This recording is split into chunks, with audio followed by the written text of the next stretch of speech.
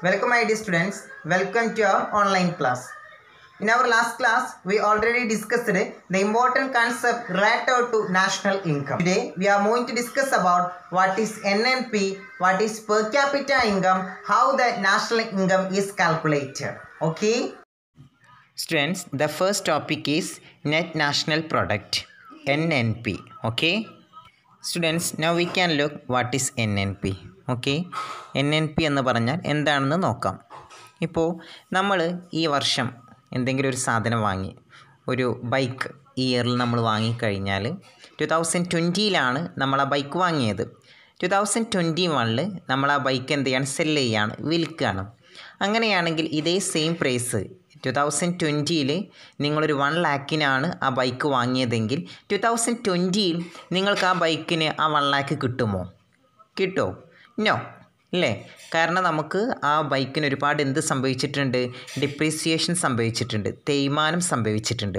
അതുകൊണ്ട് തന്നെ നെക്സ്റ്റ് ഇയറിൽ ആ ബൈക്ക് ബൈക്കിന് നമുക്ക് എന്ത് കിട്ടൂല? വാങ്ങിയ സമയത്ത് നമ്മൾ പേർച്ചേസ് ചെയ്ത സമയത്ത് നമ്മൾ എത്ര രൂപക്കാണോ വാങ്ങിയത് ആ സെയിം എമൗണ്ട് നമുക്ക് എന്ത് ചെയ്യൂല? ലഭിക്കുകയില്ല. ഇങ്ങനെയുള്ള ഈ ഒരു ഡിപ്രീസിയേഷനെ പരിഹരിക്കാൻ വേണ്ടിയിട്ട് അതിനാവശ്യമായിട്ടുള്ള എക്സ്പെൻഡിച്ചർ ചെലവിനെയാണ് നമ്മൾ ഡിപ്രീസിയേഷൻ ചാർജ് എന്ന് പറയുന്നത്. നാഷണൽ ഇൻകം കണക്കാക്കുന്ന സമയത്ത് ഇത്തരം ഡിപ്രീസിയേഷൻ ചാർജുകളെ നമ്മൾ എന്ത് ചെയ്യാറുണ്ട്? കൺസിഡർ ചെയ്യാറുണ്ട്. ജി എൻ പി എന്താണെന്ന് നമ്മൾ പഠിച്ചതാണല്ലോ.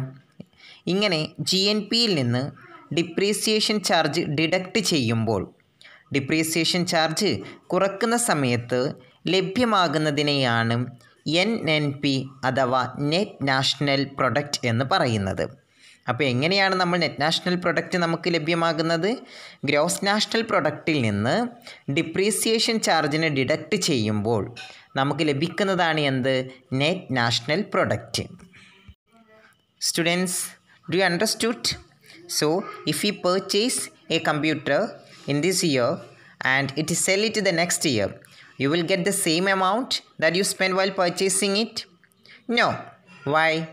With the time with the time machines and other things suffer from the wear and tear students അപ്പോൾ നിങ്ങൾക്ക് മനസ്സിലായല്ലോ നമ്മളൊരു സാധനം ടു തൗസൻഡ് ട്വന്റിയിൽ വാങ്ങിയാൽ ടു തൗസൻഡ് ട്വന്റി വണ്ണിൽ അത് വിൽക്കുകയാണെങ്കിൽ വാങ്ങിയ സമയത്ത് നമ്മൾ എത്രയാണോ നമുക്ക് ചിലവായത് ആ ക്യാഷ് നമുക്ക് എന്ത് ചെയ്യൂല? ടു തൗസൻഡ് ട്വന്റി വണ്ണിൽ അത് സെയിൽ ചെയ്യുകയാണെങ്കിൽ അത് സെൽ ചെയ്യുകയാണെങ്കിൽ നമുക്ക് ലഭിക്കുകയില്ല അല്ലേ? കാരണം എന്തൊക്കെ എന്ത് തന്നെ സാധനങ്ങളാണെങ്കിലും മെഷീനാണെങ്കിലും മറ്റെന്ത് പ്രൊഡക്റ്റ് ആണെങ്കിലും ഉപയോഗിക്കുമ്പോൾ പഴക്കം കൊണ്ട് അതിനെന്ത് സംഭവിക്കുന്നുണ്ട്? തേയ്മാനം അഥവാ ഡിപ്രീസിയേഷൻ സംഭവിക്കുന്നുണ്ട്. Students So, what is net national product? How we get net national product? When we deduct depreciation charges from the GNP, gross national product, then we get the net national product. Once more, when we deduct depreciation charges from the gross national product, we get the net national product. So, students, that is NNP is equal to GNP minus depreciation charge. Net national product equal to gross national product minus depreciation charge. Students, our next topic is per capita income. This is the fourth concept related to national income. So we can look what is per capita income. Per capita income മനസ്സിലാക്കാൻ നമുക്കൊരു example നോക്കാം ഇപ്പം നിങ്ങളുടെ ക്ലാസ്സിൽ നിങ്ങൾ ഒരു പ്രോഗ്രാമുമായി relate ചെയ്തിട്ട് ഒരു കേക്ക് കട്ട് ചെയ്യാൻ തീരുമാനിച്ചു. അങ്ങനെ ലീഡർ ക്ലാസ്സിലെ മുഴുവൻ കുട്ടികളോടും കേക്കിനുള്ള ക്യാഷ് കളക്ട് ചെയ്യാണ്. അപ്പോൾ ടോട്ടൽ സ്ട്രെങ്ത്ത് ക്ലാസ്സിലെ സ്ട്രെങ്ത്ത് തേർട്ടിയാണ് ക്ലാസ്സിൽ നിന്ന് ടോട്ടൽ കളക്ട് ചെയ്ത എമൗണ്ട് എന്ന് പറയുന്നത് ത്രീ ഹൺഡ്രഡ് ആണ്. ഇവിടെ പല ആളുകളും പല എമൗണ്ടാണ് എന്ത് ചെയ്തത്? തന്നത്. ചിലരുകൾ ചില കുട്ടികൾ ടെൻ റുപ്പീസ് തന്നിട്ടുണ്ട് ചിലർ ട്വന്റി തന്നിട്ടുണ്ട് ചിലർ വൺ റുപ്പി തന്നിട്ടുണ്ട്. അങ്ങനെ പല ആളുകളും ഡിഫറെന്റ് ഡിഫറെന്റ് എമൗണ്ട്സ് ആണ് എന്ത് ചെയ്തത്? തന്നിട്ടുള്ളത്. ഓക്കെ ടോട്ടൽ എമൗണ്ട് മുന്നൂറ് രൂപയും കിട്ടി.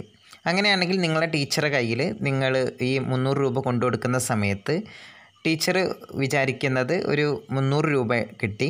അതേസമയം ക്ലാസ്സിലുള്ള കുട്ടികൾ തേർട്ടിയാണ് അപ്പം three hundred divided by thirty ഒരു ടെൻ റുപ്പി അപ്പോൾ ഓരോ കുട്ടിയും ഒരു ആവറേജ് കാണുകയാണെങ്കിൽ എത്ര രൂപ വീതം എടുത്തിട്ടുണ്ട്? ടെൻ റുപ്പി വീതം. അപ്പോൾ ഒരു പെർ ഹെഡിന്റെ ഓരോ ഹെഡ് ഇവിടെ കള തന്നിട്ടുള്ള ക്യാഷ് എന്ന് പറയുന്നത് ടെൻ റുപ്പീസ് ആയിട്ടാണ് നമ്മളിവിടെ കൺസിഡർ ചെയ്യുന്നത്. അതിനെയാണ് ഇവിടെ പെർ ക്യാപിറ്റ ഇൻകം എന്ന് പറയുന്നത്. ഇത് നാഷണൽ ഇൻകത്തിലാകുമ്പോൾ നമ്മുടെ ഇന്ത്യ നമ്മുടെ രാജ്യത്തിനുള്ള ടോട്ടൽ നാഷണൽ ഇൻകത്തെ ഇവിടെയുള്ള ടോട്ടൽ പോപ്പുലേഷനുമായിട്ട് എന്ത് ചെയ്യും? ഡിവൈഡ് ചെയ്യും. National income divided by population അങ്ങനെയാകുമ്പോൾ നമുക്ക് എന്ത് ലഭിക്കുന്നതാണ് പെർ ക്യാപിറ്റ ഇൻകം ലഭിക്കുന്നതാണ് So students, when we get per capita income, when we divided the national income by total population, at that time we get the per capita income. The per capita income help to know the economic position of the country and to compare the uh, per capita income with other countries. At that time, it help to know the economic condition of that country. Okay. So, ലഫ് listen here. Per capita income is national income divided by total population. This is the definition of how to calculate per income.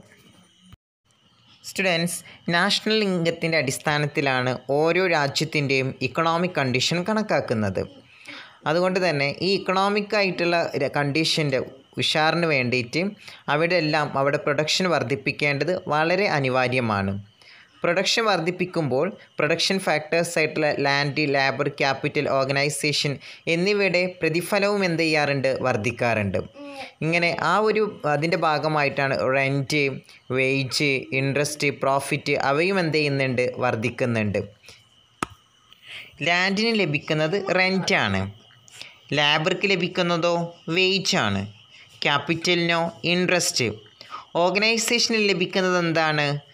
പ്രോഫിറ്റാണ് okay so students the economic condition of a country is calculated on the basis of the national income. Here, there are three methods for using the calculating national income. The first one is product method, the second one is income method, and the third one is expenditure method. These are the three important methods for estimating national income. We can explain these three methods in next class. Okay. Thank you. See you in the next class.